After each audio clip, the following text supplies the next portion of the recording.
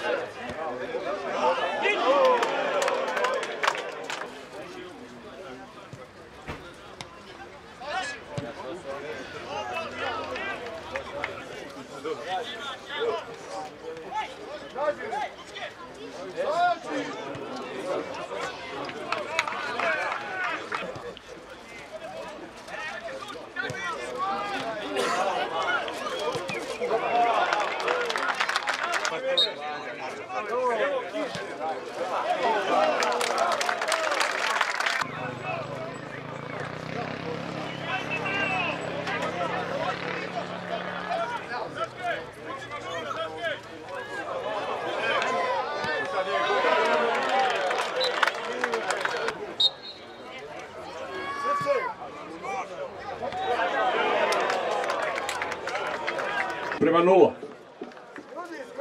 Paulo dos shoppings.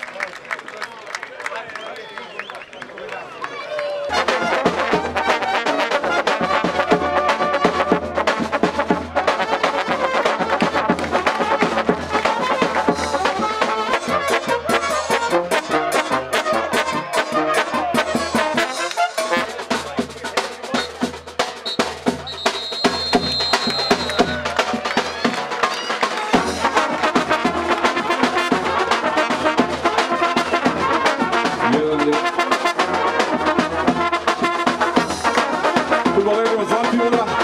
Rukovodstvo ove ekipe želimo puno sreće u Superligi Srbije. Odbor je osvojio prvo mesto u prvoj ligi i plasirao se u Superligu Srbije. Želimo im.